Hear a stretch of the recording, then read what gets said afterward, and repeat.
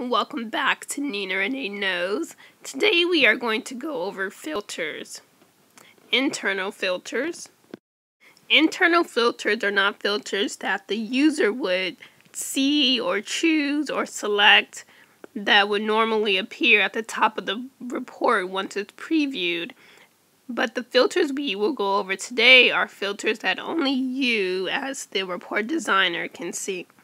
So the first way to make an internal filter is to right click on your dataset and then click on dataset properties. Click on filters and then click on add. In the expression box, you want to choose which field you want to filter on. So for this example, I'm going to choose holiday code date. And in the operator, I'm going to choose greater than and in the value, I am going to make a formula to choose date where the date is greater than today.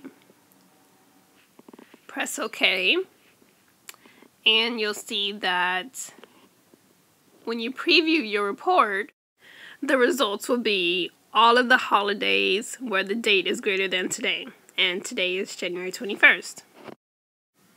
So you may ask, why would you make a filter when you can just simply change your query to run for all the dates greater than today? So that's where the second type of internal filters plays a major role. Instead of adding a where clause to your query, you can keep the query generic and have your filter like I just showed you and then you can add another tablix using the exact same data set, but with a different filter. And the way you would do that is you would go ahead and add your table to the report and bring in the fields like you normally would.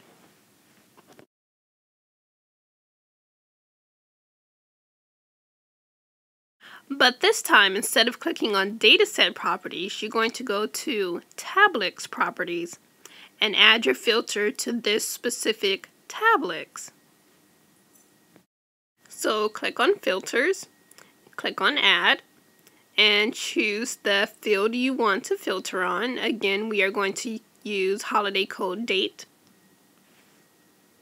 And we're going to choose less than and for my value, I am going to choose the date function where the holiday code date is less than six months from today.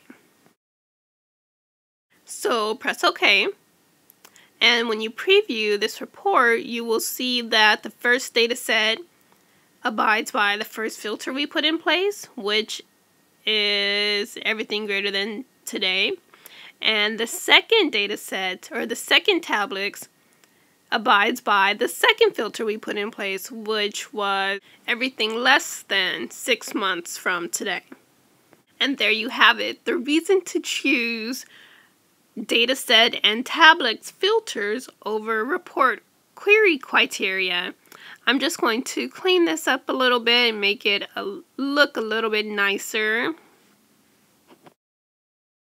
If this video was helpful, give it a thumbs up so that others can see it. If you have any questions, leave them down below and I will reply.